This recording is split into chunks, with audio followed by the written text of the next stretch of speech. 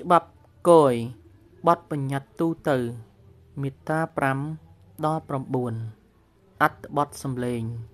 សម្រាប់ត្រៀមប្រឡងគយច្បាប់ស្តីពីគយជំពូកទី1បទបញ្ញត្តិទូទៅមាត្រា5ទំនិញនាំចេញឬនាំចូលទាំងអស់គឺជាកម្មវត្ថុនៃការអនុវត្តតាមបញ្ញត្តិនៃច្បាប់នេះ ទំនិញទាំងឡាយដែលចូលមកក្នុង ឬចេញពីដែនគយត្រូវជាប់ពន្ធនាំចូលឬនាំចេញ និងអាករ ដូចមានចែងក្នុងតារាងពន្ធគយបែបបទស្ដីពីការរៀបចំ និងការអនុវត្តតារាងពន្ធគយត្រូវចែងលម្អិតក្នុងអនុក្រឹត្យក្នុងករណីពាក់ព័ន្ធនឹងផលប្រយោជន៍ជាតិរាប់បញ្ចូលទាំងករណីមានភាពអាសន្នរាជរដ្ឋាភិបាល អាចចេញបញ្ជាឲ្យផ្អាកទាំងស្រុង ឬភាគខ្លះនៅពន្ធនិងអាករលើទំនិញ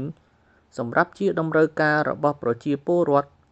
ឬផ្អាកការនាំចេញ ឬការនាំចូលនៅទំនិញប្រភេទខ្លះច្បាប់ស្តីពីគយចំពុកទី1បទបញ្ញត្តិទូទៅ មាត្រា6ពន្ធគយអនុគ្រោះអាចផ្ដល់ជូនបាន ប្រសិនបើមានចែកក្នុងសន្យា កិច្ចព្រមព្រៀងសន្ធិសញ្ញា ឬអនុសញ្ញាអន្តរជាតិដែលព្រះរាជាណាចក្រកម្ពុជាបានចូលរួមពន្ធគយអនុគ្រោះដែលចេញពីកាតព្វកិច្ចក្រោមការសន្យា កិច្ចព្រមព្រៀងសន្ធិសញ្ញា ឬអនុសញ្ញាអន្តរជាតិទាំងនេះត្រូវកំណត់ដោយអនុក្រឹត្យ ច្បាប់ស្តីពីគយ ជំពូកទី1បទបញ្ញត្តិទូទៅ មាត្រា7រាជរដ្ឋាភិបាលអាចកំណត់បាន ដោយអនុក្រឹត្យចាត់វិធានការចាំបាច់នានារាប់បញ្ចូលទាំងការដំឡើងអត្រាពន្ធដើម្បីការពារផលិតករកម្ពុជា នៅពេលដែលផលិតករក្នុងស្រុកត្រូវទទួលរងគ្រោះដោយកំណើននៃការនាំចូល ឬដោយឧបត្ថម្ភធនដែលបានផ្ដល់ដោយរដ្ឋាភិបាលនៃប្រទេសផ្សេងផ្សេងទៀតចំពោះការនាំចេញផលិតផលរបស់ខ្លួនមកកម្ពុជាឬដោយការលក់បង្ខូចថ្លៃទំនិញនៅលើទីផ្សារកម្ពុជា ច្បាប់ស្តីពីគយជំពូកទី1បទបញ្ញត្តិទូទៅ មាត្រា8រដ្ឋាភិបាលអាចកំណត់បាន ដោយអនុក្រឹត្យនៅមុខទំនិញមួយចំនួនឲ្យជាប់អាយ៉ាត់ឬកម្រិតកំណត់ក្រោមលក្ខខណ្ឌលើទំនិញនាំចេញឬនាំចូល ក្នុងគោលបំណងណាមួយដូចតទៅសន្តិសុខជាតិសន្តិភាពសាធារណៈនិងតាមស្តង់ដារនៃសុភាវធម៌និងសិលធម៌ ការការពារសុខភាព និងជីវិតមនុស្ស សត្វ ឬរុក្ខជាតិ ការការពារបេតិកភណ្ឌជាតិ ដែលមានតម្លៃខាងសិល្បៈ ប្រវត្តិសាស្ត្រ ឬបុរាណវត្ថុវិទ្យា ការអភិរក្សធនធានធម្មជាតិ ការតម្រូវតាមបញ្ញត្តិនានានៃច្បាប់ណាមួយជាធរមាននៃព្រះរាជាណាចក្រកម្ពុជា ការបំពេញកាតព្វកិច្ចក្រោមធម្មនុញ្ញសហប្រជាជាតិដើម្បីប្រយុទ្ធប្រឆាំងអំពីល្មើសនិងអំពើរត់ពន្ធរដ្ឋមន្ត្រីក្រសួងសេដ្ឋកិច្ចនិងហិរញ្ញវត្ថុអាចចេញប្រកាសកំណត់នៅមុខទំនិញមានវិទ្យុទ្ធភាពឬទំនិញដែលជាប់ពន្ធខ្ពស់ជាទំនិញកំណត់ពិសេសសម្រាប់គោលបំណងនៃច្បាប់នេះ ហើយអាចកំណត់បន្ថែមលើការត្រួតពិនិត្យនិងការដាក់កម្រិតបានលើការដឹកជញ្ជូនចរាចរណ៍សន្តិធិនិងការកាន់រក្សាទំនិញទាំងនេះ ច្បាប់ស្តីពីគយជំពូកទី1បទបញ្ញត្តិទូទៅមាត្រា9លើកលែងតែបរិបទតម្រូវផ្សេងពីនេះ សម្រាប់គោលបំណងនៃច្បាប់នេះ ពន្ធគិតតាប់តម្លៃ ad valorem duty ជាពន្ធដែលគណនាដោយផ្អែកលើមូលដ្ឋាននៃតម្លៃគិតពន្ធគយពន្ធគិតតាមឯកតា គឺជាពន្ធដែលគណនាផ្អែកតាមឯកតាទម្ងន់ចំណុះឬបរិមាណនៃទំនិញ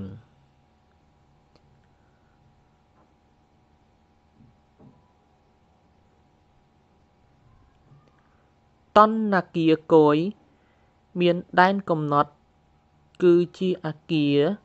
ទីកន្លែង ឬទីលានណាមួយដែលបំពេញគ្រប់លក្ខខណ្ឌដែលកំណត់ដោយរដ្ឋបាលគយ សម្រាប់បម្រើដល់ការធ្វើសន្និធិ ការកែច្នៃ ការតាំងបង្ហាញ សម្រាប់លក់ឬសម្រាប់គោលបំណងពាក់ព័ន្ធផ្សេងទៀតដែលទំនិញ ត្រូវព្យួរពន្ធនិងអាករជាបណ្ដោះជាអាសន្នមធ្យោបាយដឹកជញ្ជូន គឺជាជលយានអាកាសយាន ឬមធ្យោបាយផ្សេងផ្សេងទៀតដែលប្រើប្រាស់សម្រាប់ដឹកជញ្ជូនមនុស្សឬទំនិញការរត់ពន្ធគឺជាការនាំចេញឬនាំចូល ទំនិញនៅក្រៅការិយាល័យគយ ព្រមទាំងការបំពានលើបញ្ញត្តិច្បាប់ ឬបទបញ្ជាដែលតាក់ទងដល់ការនាំចេញឬនាំចូល ការកាន់កាប់និងការដឹកជញ្ជូនទំនិញនៅក្នុងផ្ទៃនៃដែនគយប្រទេសដើមកំណើត គឺជាប្រទេសដែលទំនិញត្រូវបានផលិត ឬកែច្នៃស្របតាមលក្ខខណ្ឌវិនិច្ឆ័យដែលមានចែងសម្រាប់ជាគោលបំណងនៃការប្រើប្រាស់តារាងពន្ធគយ ស្របតាមការកម្រិតកំណត់លើបរិមាណឬករណីផ្សេងទៀតដែលពាក់ព័ន្ធនឹងវិស័យពាណិជ្ជកម្មគយឬរដ្ឋបាលគយគឺសំដៅលើទីចាត់ការគយនិងរដ្ឋកោនៃក្រសួងសេដ្ឋកិច្ចនិងហិរញ្ញវត្ថុដោយរាប់បញ្ចូលមន្ត្រីគយដែលទទួលខុសត្រូវក្នុងការគ្រប់គ្រងត្រួតពិនិត្យការអនុវត្តច្បាប់គយ ការប្រមូលពន្ធអាករ និងកម្រៃផ្សេងផ្សេងព្រមទាំងទទួលខុសត្រូវផងដែរក្នុងការអនុវត្តច្បាប់ និងបទបញ្ញត្តិផ្សេងទៀត ដែលតាក់ទងនឹងការនាំចេញ ឬចូល ចរាចរណ៍ និងសន្តិទំនិញជើងសាគយគឺជាបុគ្គលដែលទទួលការអនុញ្ញាតតាមផ្លូវច្បាប់ ដើម្បីធ្វើអាជីវកម្មបំពេញបែបបទបញ្ចេញទំនិញពីគយ ដោយផ្ទាល់ជាមួយរដ្ឋបាលគយ ក្នុងនាមបុគ្គលផ្សេងទៀត។ការបំពេញបែបបទបញ្ចេញទំនិញពីគយគឺជាការបំពេញនៅទម្រង់ការគយចាំបាច់នានាដើម្បីទទួលបាននូវការអនុញ្ញាតឲ្យទំនិញអាចដាក់ឲ្យប្រើប្រាស់បានក្នុងប្រទេស អាចឲ្យនាំចេញ ឬដាក់នៅក្រោមរបបគយមួយផ្សេងទៀតបាន កន្លែងបំពេញបែបបទបញ្ចេញទំនិញពីគយគឺជាកន្លែងដែលស្ថិតនៅក្នុង ក្រោមការគ្រប់គ្រង ការឃ្លាំមើលដោយរដ្ឋបាលគយ ការត្រួតពិនិត្យគយ គឺជានីតិវិធីដែលកំណត់ដោយរដ្ឋបាលគយ លើការដឹកជញ្ជូន ចរាចរណ៍ និងសន្តិធិទំនិញនាំចេញឬនាំចូល ប្រតិវាសគយ គឺជាសេចក្តីប្រកាសដែលធ្វើឡើងសម្រាប់គោលបំណងនៃការនាំចេញ ឬនាំចូល តាមទម្រង់ និងរបៀបដែលមានចែងក្នុងច្បាប់នេះ។ការពិនិត្យឆែកឆេររបស់គយ គឺជាការធ្វើអធិការកិច្ចជារូបវន្តលើទំនិញ ឬឯកសារដោយរដ្ឋបាលគយ ដើម្បីបញ្ជាក់យថាភេទដើមកំណើតលក្ខខណ្ឌបរិមាណនិងតម្លៃទំនិញ សមស្របតាមប្រកាសនៅក្នុងប្រតិវាសគយទម្រង់ការគយ គឺជាប្រតិបត្តិការដែលត្រូវអនុវត្តដោយប្រព័ន្ធបុគ្គលពាក់ព័ន្ធ និងដោយរដ្ឋបាលគយក្នុងគោលបំណងគោរពតាមច្បាប់នេះ និងច្បាប់ផ្សេងទៀតដែលរដ្ឋបាលគយមានភារកិច្ចចាត់ចែងគ្រប់គ្រង និងអនុវត្តភ័ណ្ឌគារផលិតកម្មមានដែនកំណត់ស្ថិតនៅក្រោមការគ្រប់គ្រងរបស់គយគឺជារោងចក្រ ដែលស្ថិតនៅក្រោមការត្រួតពិនិត្យរបស់គយលើទំនិញនាំចូល ដោយលើកលែងជាបណ្ដោះអាសន្ននៅពន្ធនិងអាករនានាសម្រាប់ប្រើប្រាស់ក្នុងដំណើរការផលិតកម្មការិយាល័យគយគឺជាអង្គភាពរដ្ឋបាលគយដែលមានសមត្ថកិច្ចគ្រប់គ្រងត្រួតពិនិត្យទម្រង់ការគយអគារឬទីតាំងផ្សេងទៀតដែលទទួល ការអនុញ្ញាតសម្រាប់គោលបំណងនៃបទបញ្ញត្តិច្បាប់នេះតម្លៃគិតពន្ធគយឬតម្លៃពាក់ព័ន្ធទៅនឹងទំនិញនាំចូលគឺជាតម្លៃគិតពន្ធគយនៃទំនិញទាំងនោះ ដែលត្រូវបានកំណត់ស្របតាមមាត្រា21នៃច្បាប់នេះប្រតិវិតកគឺជាបុគ្គលដែលធ្វើការប្រកាស ដល់គយក្នុងនាមខ្លួនផ្ទាល់ឬក្នុងនាមអ្នកដទៃឯកសារគឺជាឯកសារតាមទម្រង់ណាមួយទោះជាមានឬគ្មានចុះហត្ថលេខាឬចុះអតិសង្កេត ឬធ្វើយតភូតដោយអ្នកតាក់តែងនិងរាប់បញ្ចូលទាំងទម្រង់ណាមួយ ដែលសរសេរលើសម្ភារៈព័ត៌មានថតទុក បញ្ជូន ឬរក្សាទុក ដោយមធ្យោបាយនានាដូចជាឧបករណ៍ថតកុំព្យូទ័រឬឧបករណ៍ផ្សេងផ្សេងទៀតនិងសម្ភារៈដែលយកចេញពីព័ត៌មានទាំងនេះ ស្លាកឬសញ្ញាសម្គាល់ផ្សេងទៀតឬការសរសេរដែលភ្ជាប់នឹងវត្ថុអ្វីមួយ ឬសម្ភារៈជាភាគណាមួយនៃវត្ថុនោះ សៀវភៅផែនទី ប្លង់កាហ្វេ ឬគំរូរូបថតហ្វីលខ្សែអាត់ឬឧបករណ៍ផ្សេងទៀតដែលផ្ទុកនៅរូបភាពហើយមានលទ្ធភាពអាចធ្វើការផ្ដិតចម្លងបានពន្ធគឺជាពន្ធពន្ធបន្ថែម អាករកម្រៃឬឧបករណ៍ផ្សេងទៀតដែលយកលើទំនិញស្របតាមបញ្ញត្តិណាមួយនៃច្បាប់នេះ ឬច្បាប់និងបញ្ញត្តិផ្សេងទៀតដែលអនុវត្តនិងគ្រប់គ្រងដោយគយតំបន់រួចពន្ធគឺជាតំបន់បង្កើតឡើងដោយរាជរដ្ឋាភិបាលដែលទំនិញនាំចូលពុំមែនជាកម្មវត្ថុនៃការជាប់ពន្ធនិងអាករក្រោមលក្ខខណ្ឌកំណត់ច្បាស់លាស់ទំនិញគឺជាអចលនទ្រព្យទាំងឡាយ ការដាក់ឲ្យប្រើប្រាស់នៅក្នុងប្រទេស គឺជាការចរាចរទំនិញនាំចូល ដោយសេរី ក្នុងរង្វង់ដែនគយបន្ទាប់ពីបានបញ្ចេញទំនិញគយអ្នកនាំចូល គឺជាបុគ្គលទាំងឡាយណាដែលនាំចូលទំនិញដោយខ្លួនឯងឬដោយអ្នកដទៃត្រូវចាត់ជាអ្នកនាំចូលផងដែរ នៅអ្នកទទួលទំនិញបុគ្គលដែលជាម្ចាស់កម្មសិទ្ធិបុគ្គលដែលនឹងទៅជាម្ចាស់កម្មសិទ្ធិឬអ្នកមានសិទ្ធិចាត់ចែងលើកម្មសិទ្ធិទំនិញទាំងនោះ មុនពេលដែលទំនិញនោះឈប់ជាកម្មវត្ថុនៃការត្រួតពិនិត្យគយការនាំចូលពាក់ព័ន្ធទៅនឹងទំនិញគឺជាការមកដល់ដែនគយនៅទំនិញតាមរបៀបណាក៏ដោយ ទោះជាស្របច្បាប់ ឬមិនស្របច្បាប់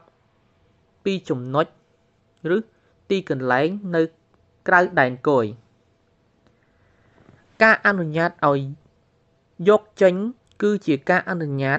របស់គយឲ្យយកទំនិញដែលបានបំពេញបែបអត់គយរួច ចេញពីការគ្រប់គ្រងរបស់គយដល់បុគ្គលពាក់ព័ន្ធនិមិត្តធានា គឺជាការធានាផ្នែកហិរញ្ញវត្ថុ ឬលិខិតឧបករណ៍ហិរញ្ញវត្ថុផ្សេងផ្សេងទៀតដែលប្រើប្រាស់សម្រាប់ធានាក្នុងការទូទាត់បង់ពន្ធអាករនិងកម្រៃផ្សេងទៀតជាយថាហេតុតាមបទបញ្ញត្តិនៃច្បាប់នេះ ទំនិញកំណត់ពិសេសគឺជាទំនិញទាំងឡាយណាដែលកំណត់ដោយប្រកាសរបស់រដ្ឋមន្ត្រីក្រសួងសេដ្ឋកិច្ចនិងហិរញ្ញវត្ថុតាមកថាខណ្ឌទី2 និងមាត្រា8នៃច្បាប់នេះតម្រុយផ្លូវស្របច្បាប់គឺជា ផ្លូវគោកផ្លូវដែកផ្លូវទឹក និងផ្លូវផ្សេងផ្សេងទៀតណា ដែលគយកំណត់ឲ្យប្រើប្រាស់សម្រាប់ការដឹកជញ្ជូនទំនិញនាំចេញឬនាំចូលក្រោមការគ្រប់គ្រង និងត្រួតពិនិត្យរបស់គយប្រវេសកាលៈគឺជានីតិវិធីគយដែលអាច អនុញ្ញាតឲ្យទំនិញនាំចូលបានក្នុងដែនគយក្រោមលក្ខខណ្ឌរួចផុតពីការបង់ពន្ធនិងអាករទាំងស្រុងឬភាគខ្លះទំនិញទាំងនេះត្រូវបាននាំចូលក្នុងគោលបំណងច្បាស់លាស់ហើយត្រូវបាននាំចេញទៅវិញក្នុងកម្រិតពេលវេលាជាក់លាក់មួយនិងមិនធ្វើការកែច្នៃឬផ្លាស់ប្ដូរលើកលែងតែការរំលោះជាធម្មតា តាមការប្រើប្រាស់ការឆ្លងកាត់គឺជានីតិវិធីគយដែលអនុញ្ញាតឲ្យដឹកជញ្ជូនទំនិញពីការិយាល័យគយមួយទៅការិយាល័យគយមួយទៀតក្រោមការត្រួតពិនិត្យរបស់គយការផ្ទេរមធ្យោបាយដឹកជញ្ជូន គឺជានីតិវិធីគយមួយដែលអនុញ្ញាតឲ្យផ្ទេរទំនិញពីមធ្យោបាយដឹកជញ្ជូននាំចូល ទៅមធ្យោបាយដឹកជញ្ជូននាំចេញ ក្រោមការត្រួតពិនិត្យរបស់គយនៅក្នុងរង្វង់ការិយាល័យគយតែមួយដែលជាការិយាល័យនៃការនាំចូលនិងការនាំចេញ ការដឹកជញ្ជូនត្រង់គឺជាការដឹកជញ្ជូនជាអន្តរជាតិនៅទំនិញពីប្រទេសដើមកំណើតទំនិញនោះទៅប្រទេសនាំចូល ដោយមិនមានការឆ្លងកាត់ប្រទេសដទៃក្រៅពីប្រទេសដើមកំណើតទំនិញ